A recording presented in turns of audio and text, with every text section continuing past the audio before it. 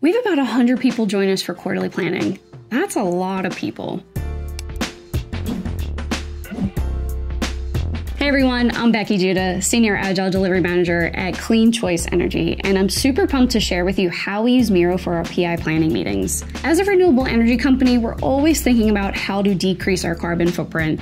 Miro was perfect for allowing us to collaborate online, so it's really helped us become greener as a company and also speed up our go to market and deliver a better customer experience. So, what we have here is a template that we use every quarter to stay organized and accountable as we plan for the next six sprints. You'll see here at the top are three sections.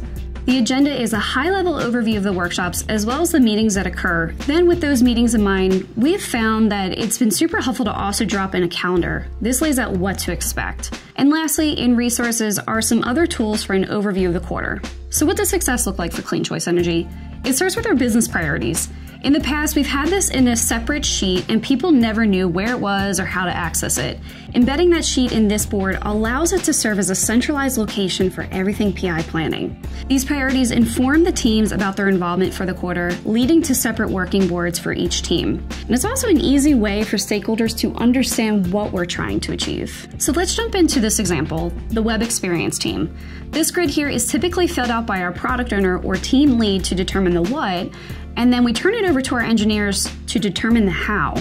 And that's where these swim lanes and stickies start to come in. At the top, we have three different labels which indicate whether your team is owning, contributing, or following the specific initiative. So we will use those labels at the beginning of our swim lanes here to help identify our involvement with this project. The other key legend we're going to go over here is the Fibonacci pointing method. It's been super helpful to color coordinate that way. The engineers are able to think pretty high level. What are the dependencies? What are the complexities? And really start to lay out the solution across the board. We also call out risks with red circles. Typically with this, we will add a comment and say, hey, team two, we have a dependency on you for this initiative. Let's make sure we talk about it. You can see here in this template that all the tasks are in sticky notes.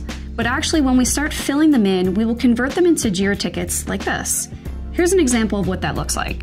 And because we have three different teams listed within our board below, we have found that it's important to pull out the larger initiatives from each team and have a dedicated space for them.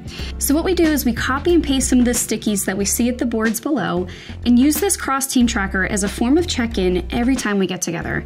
Apart from in-meeting planning, Miro is also a great one-stop shop for visual updates for people who want to know more about a project. Another workshop we do is Future Opportunities, which is also called a pre-mortem workshop. This workshop allows the team to think about the challenges, the successes, or resources they may need.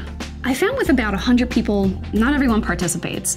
And if you purposely list out their names here, they will most likely participate. But what that means for me as a facilitator is I have a lot of post it notes to read through. So, one of my favorite features is when I select the sticky note, I use Miro Assist, the AI feature.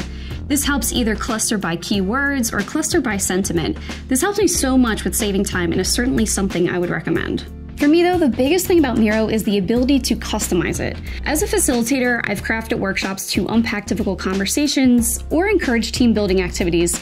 Partnering a creative theme with thought provoking questions in Miro has helped us build high performing teams. So that's what I have for you today. If you like our template, you can download it for free in Miroverse. And if you have any questions, feel free to tag me in the community forum. Thanks so much, everyone. Take care.